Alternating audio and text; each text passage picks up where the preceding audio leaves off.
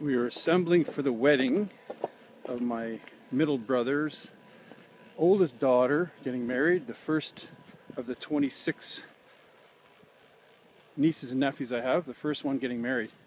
So it's a very notable occasion here. Most beautiful place.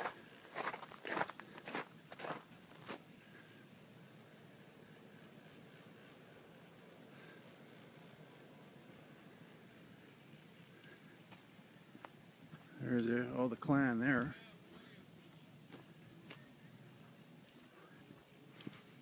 So be all the in-laws and the outlaws in here. Incredible.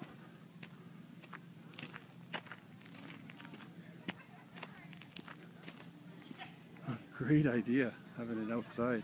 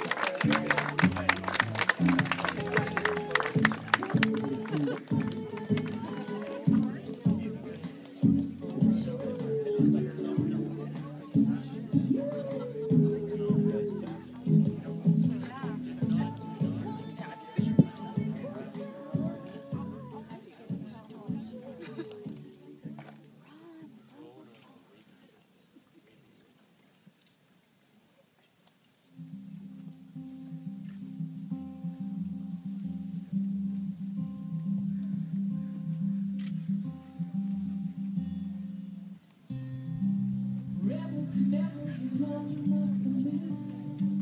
Feel like